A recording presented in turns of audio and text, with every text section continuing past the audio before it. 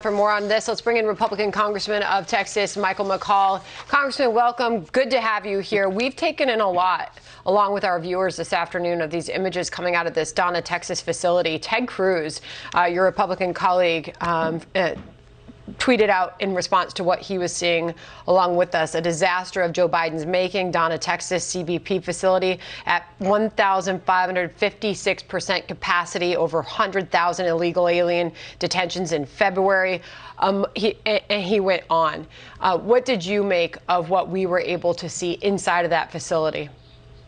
Well, uh, look, uh, Sandra, I've seen this movie many times before as a federal prosecutor in Texas to chairman of Homeland Security Committee, now the Republican leader on Foreign Affairs Committee. And, and you know, this didn't have to happen. And now the entire world is now seeing the humanitarian crisis that was caused directly by the president rescinding these agreements that we had with Mexico and Central America that worked so effectively. And what they basically called for was that migrants had to apply for political asylum outside the United States. Congressman, Therefore, can I interrupt you for a second and I'll let you continue your answer in just a moment. These are brand new images.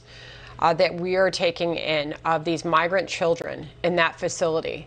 Um, again, and this is after the Biden administration was pressed for more transparency, pressed for uh, journalists to get access to this facility.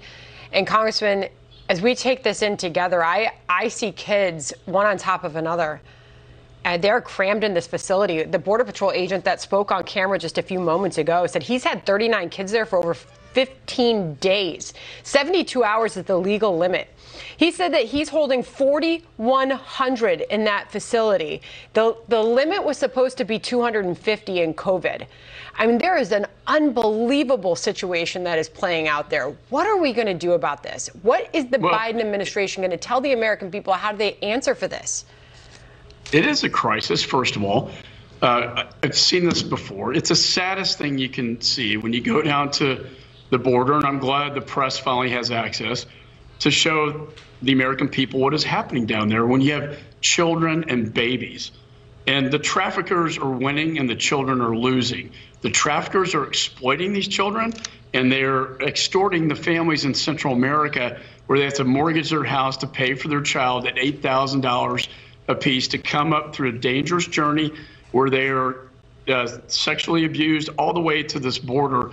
It's one of the saddest things on a humanitarian uh, side and as a human being that you can possibly see. And the sad thing was, it was all self inflicted and self manufactured, and it could have been stopped. I am urging the Secretary of State in a letter to reinstate these asylum cooperative agreements that worked.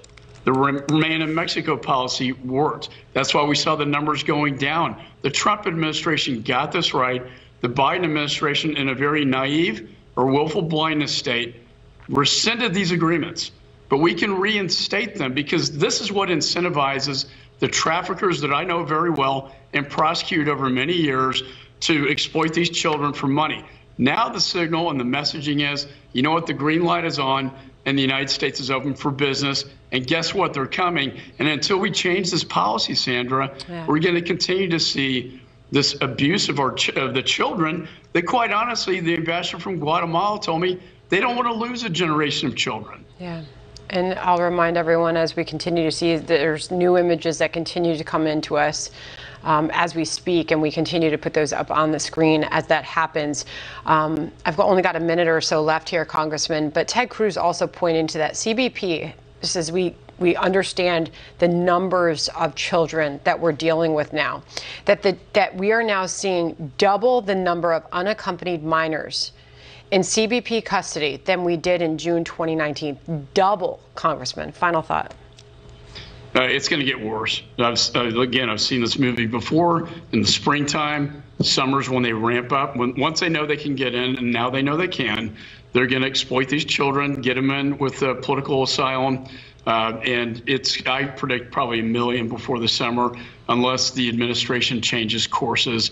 It was a foreign policy blunder, and they need to fix it.